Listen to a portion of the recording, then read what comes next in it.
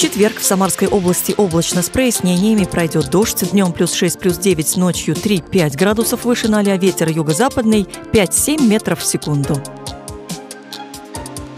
В Сызрани переменная облачность, кратковременный дождь, в светлое время суток плюс 10, в темное плюс 6 градусов, юго-западный ветер 5 метров в секунду. В Тольятти малооблачно возможен дождь, днем плюс 9, ночью 6, тепла, юго-западный 7 метров в секунду.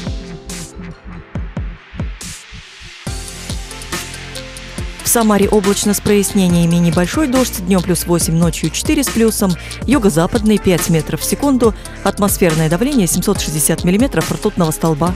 Влажность воздуха 59%, геомагнитное поле относительно спокойное.